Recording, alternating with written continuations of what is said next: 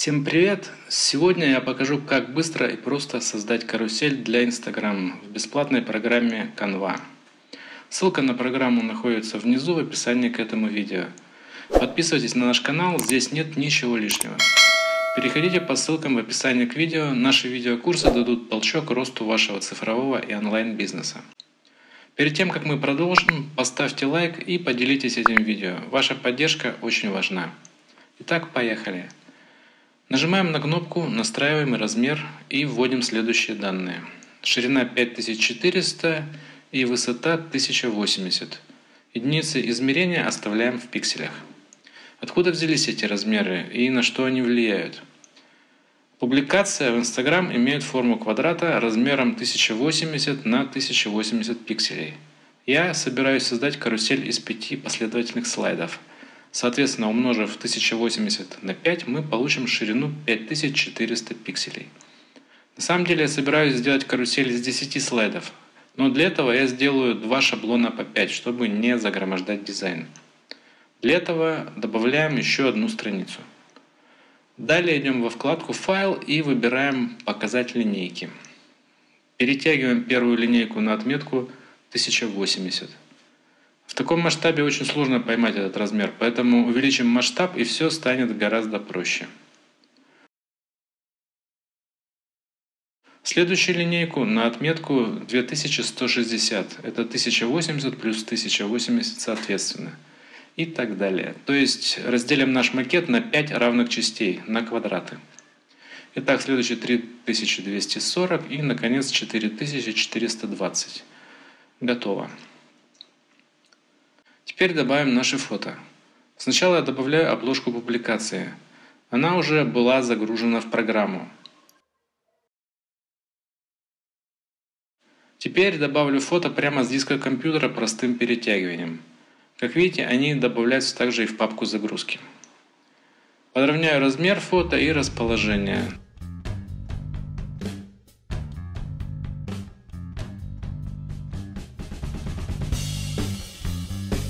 Нажав, нажав букву Т при английской раскладке клавиатуры, добавлю поле для ставки текста.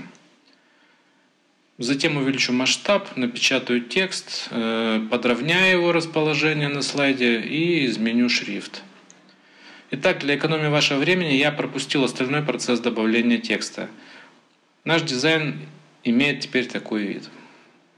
Продолжен добавление фото, но обратите внимание, я буду добавлять их между слайдами, чтобы при прокрутке карусели наши слайды были плавно связаны. Ускорю воспроизведение, чтобы вы не заскучали.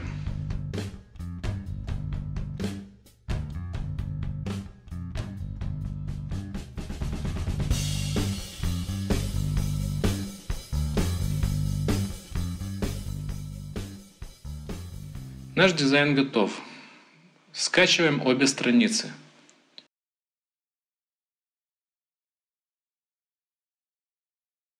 Далее нам нужен любой сервис для разделения фото. Я воспользуюсь бесплатным pinetools.com. В поисковой строке пишем Split Image, заходим сюда и загружаем нашу первую страницу.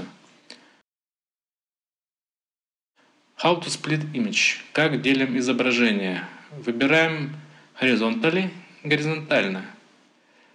Формат на выходе, output format. Выбираем JPEG – Количество частей, quantity of blocks, выбираем 5, согласно нашему макету. И жмем зеленую кнопку Split Image. Теперь скачиваем получившиеся 5 файлов. И аналогично поступаем со второй страницей. Мы можем посмотреть, что все получилось и файлы разделены правильно.